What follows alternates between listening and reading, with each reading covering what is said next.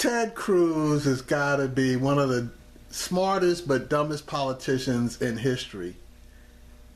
He goes to New York and they ran him out of New York. Specifically, they ran him out of the Bronx. So he comes to Indiana where, you know, quote unquote, this is supposed to be his firewall, his last stand. He gives a campaign rally. Then he sees a bunch of Trump supporters. And instead of ignoring them, like anybody with some sense would do, he decides he's going to go over and engage them. Watch this. Okay, but we can show you choking like a dog, and then you can find your own words Okay. instead of say choking like a dog. Find better words. Uh, here's Ted Cruz leaving a campaign stop in Marion, in Indiana yesterday when about a half dozen Donald Trump supporters were across the street holding signs and crying out, lose with Cruz and do the math. That's when Cruz passed by his motorcade and went over Don't do it. to speak Don't with do it. them. Why would you do that? Because when you do that, this happens. Stupid. I'm running to be everyone's president. Those who vote for me, even those We don't want you. Well, you're, you're entitled to your view, sir, and I will respect it. In fact, I will Do the math. I will You know, protect you ask your cases to drop out, it's your turn. Well, Take your own words. you know on the wall that Donald told the New York Times editorial on the wall he's not going to deport anyone. Once Well- again, line Ted. Well, sir, you know, actually, civilized people don't just scream and yell at each other. I'm not yelling at you. Where's your Goldman Sachs jacket at? We know your wife works there. Actually, I was supported by and am supported by 1.3 million contributions all over the country. Our average contribution is $60. Donald Trump is deceiving. He is playing you for a chump. Sir, America is a better country. Without you. Let me point out, I have treated you respectfully the entire time. And a question that everyone here should ask. Are you Canadian? Do you want your Are you kids, do you want your kids repeating the words of Donald Trump That was flippin' hilarious. I mean, it, it, it doesn't get much funnier than that. Every time, and see, Cruz's problem is he likes to, to, to stop and pause. And when you stop and pause, you give people openings to say crap. And th- that guy, I gotta hand it to him. He, he obviously was a Trump supporter, and he could have been a plant, but uh, he couldn't have gotten over any better than he did. And, and everybody was cracking up when they saw this thing. Let me play uh, the uh, the rest of the clip from Morning Joe. That's great stuff. It went on Are you five minutes. Canadian? I want more, Alex. Why did you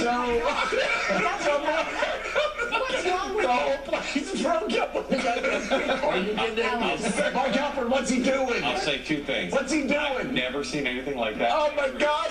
And it's, it's reminiscent of the end of the Rubio campaign, right? At the end of the Rubio campaign when he went for like a whole different It thing. went longer. things up. Oh yeah. But I mean, you don't walk over No, to protest. And the minute the guy started doing like shtick, you leave. No, but who is that guy? He's got great timing. Oh yeah. They timing.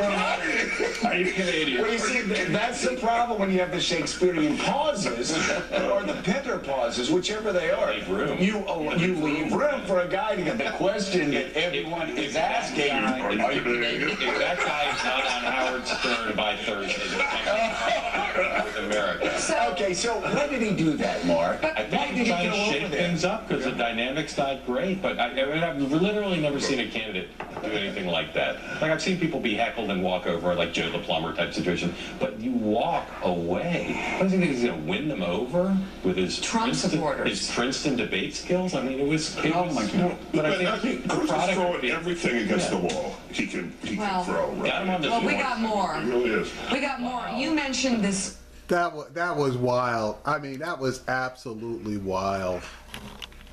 Now, this was the the uh, second uh, Cruz fail. Now, some people may consider it a, a cruise or win, but uh, I, I believe it was absolutely a Cruz fail when he chastises a, a 10 or 11 year old kid for uh, saying that he sucks. mentioned this 10-year-old. Yeah. Because you have a mind like a 10-year-old, you want to see this. This is Ted Cruz That's and a awfully child from hateful. Sunday. That is hateful. Take a Let's talk about this. All right, apparently there's a young man who's having some problems. Thank you, son. You know, I appreciate your sharing your views. You know, one of the things that hopefully someone has told you is that children should actually speak with respect. In my household, when a child behaves that way, they get a spanking. Spanking. Did they no. just escort a 10-year-old kid out? No. This is like version monkey. Did the guards just escort a 10-year-old out? This is what you wanted to stop Trump? That is what you thought would stop Trump. Think about this. Everybody think Mark about Halperin. this. Why? Let's go back to Mark Halperin. Mark What Halperin. in the Mark Halperin. world? Politics 101. Do you escort a 10-year-old kid out and then lecture him and say you deserve a I spank? don't think you go negative on the 10 year old. Maybe, maybe that's just. What's wrong with your party? Uh, go ahead. Go ahead, Mark. Just, it just, it's not in, this is not cresting well for the Cruz campaign. Fighting.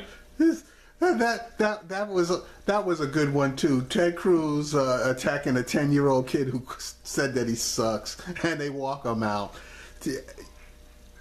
Tonight is going is the end. Now, whether Cruz stays in or not, you know, he- his ego is going to probably uh, uh, make him stay in. But uh, those two clips alone should be enough to convince any rational person that uh, Ted Cruz is not the one.